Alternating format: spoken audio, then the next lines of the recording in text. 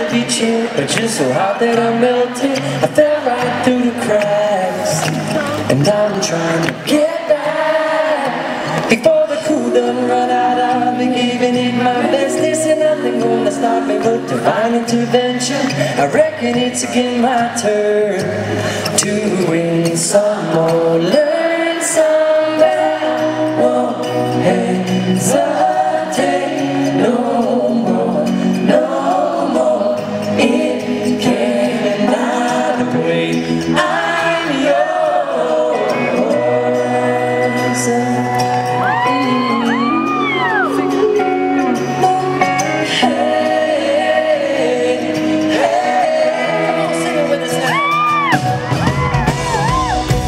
and I'll be.